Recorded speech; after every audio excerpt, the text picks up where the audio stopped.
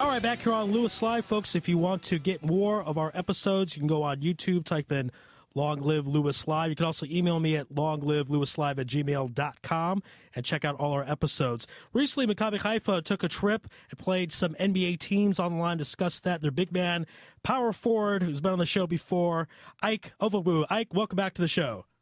Uh, thank you. Glad to be back. All right, Ike, let's uh, get down to this because I read this article and you were there. You can tell us if it's true, but there's a report that when uh, you guys played the Raptors and played them very competitively, only lost by seven points, had that 21 0 run, that uh, one of your teammates had a, a little bit of uh, trash talking going on.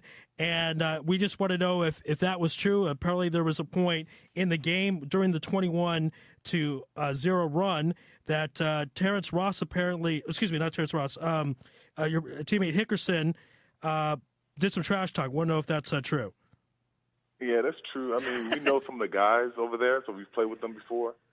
So, um, you know, com- as far as the competition level goes, you know, there's going to be a little bit of trash talking here and there. So it was, you know, after he dunked the ball, he came down and started talking trash to him. It's Leroy Hickerson. So he wasn't doing that because he he was crazy. He just thought, hey, I mean, we're going to play this game. We're playing to win. We're not just uh, fooling around. And he was just doing that because he dunked on the guy, right? Yeah, for sure. It wasn't. It wasn't like that. It was just, um, you know, the nature of the game. You're trying to win a game it was doing a little trash talking. now, in that game, there were a lot of Maccabi Haifa fans that went to Toronto. If you looked at certain parts of the stands, you would have thought you were in Haifa. They were so supportive. What did that mean to you guys that here you are in another country and you have this, this great fan base supporting you against the Raptors? Uh, it was big. I mean, anywhere you go and you have a, a supporting cast, it always helps you and always motivates you to do better. So it was big. It surprised me. I looked up a couple of times and I've seen a lot of Israeli uh, fans. So it was it was kind of a um, it was kind of a blessing to see.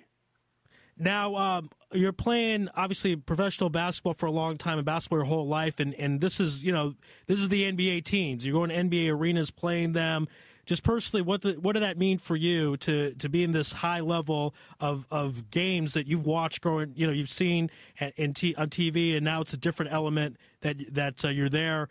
Uh, what did that mean to you to play against these NBA teams? Um, tell you truth, just honored and blessed. Um, I just took it all in. I mean, I just lived in the moment, took it all in. Um, I didn't really see it like that until afterwards. Like during the game, it was just to me, it was just like another game. But you know, especially coming off an injury, just tell you blessed to be back on the court. Yeah, let's talk about the injury because Andrew Wilson was in my ear today saying, "Hey, Ike's back. He scored you know 15 points, and obviously this was a tough season last year for you. You never had a major injury up until that point. And how do you feel right now? Do you feel like you're back to 100 percent and ready to to play at 100 percent this season? Uh, I'm not 100 percent, but I'm close to it. Um, yeah, but during the season I'll be back 100 percent. Um, I mean, like I said, I feel um, blessed and honored, especially for the owner giving me a chance. And um, I'm just thanking God every day for the opportunity to keep playing basketball. So um, I'm just looking forward to the season. And now, uh, many players that I spoke with that have gone through injury, they say that the rehab is more physically draining and mentally draining than typical playing practices, playing games, even as physical as it is. What did you think? Was the rehab process more physically intensive than anything else you've done in basketball? Yeah, uh, the rehab was tough as far as like every it was an everyday thing, 24 hours a day, learning how to walk again, learning how to move your leg the right way. It was building a muscle. It was the toughest thing I've ever done. It was hard. Now, for a long period of time, it was tough. Now, uh, one thing also, and not to put too much uh, negative on this, I want to point out to our audience that Maccabi Haifa almost won the championship. They've lost one point by one point in overtime to Maccabi Tel Aviv, and I'm sure your team's leaving Nokia Arena thinking, "Hey, if we had Ike." We would probably walk out as champions.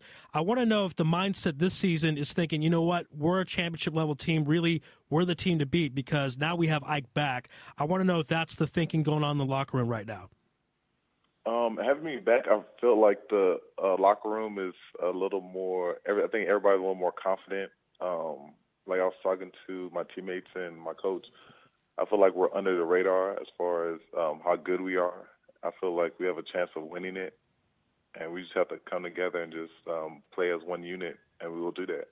Maccabi Haifa won the title in 2013, and before your injury, David Doobie Pick of Eurobasket said that you guys were going to win because they the feeling that you would put them over the top. So almost two titles in a row, and would look at number three if not for your injury. So my question to you is, why do you think that you guys are under the radar, considering the success you've had in the past couple of seasons? Uh, I just feel like um, uh, the Israeli league not knowing players, especially players coming from Latin America, not knowing how good they are because they're under the radar themselves. I feel like that has a lot to do with it. For example, when Paul Stahl and Dante played their first year in Israel, they were almost to the point of getting cut because nobody knew who they were. Hmm. And you see, they won to end up winning the championship. But just not knowing, I think that's the main thing also the Maccabi Tel Aviv's the bright you know team, and they've they've been around as far as winning for so long.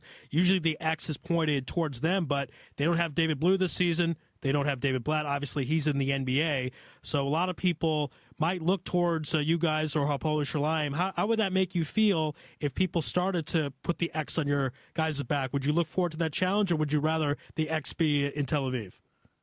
Um, either or. I mean, either way, you still have to come out and compete and play. So it's um, to me, it doesn't really matter.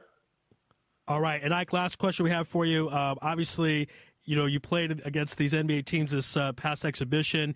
I'm curious who you think is the favorite, who you like to win. A lot of people like the Spurs. A lot of people like the Cavs. That LeBron is back with the team. I want to know what do you think? Who do you think is going to win the title this year in the NBA? Oh, that's a tough one. Um, that's a tough one. I'll say my top three. Okay, sounds good. top, top three: uh, Spurs, Cavs, and the Bulls.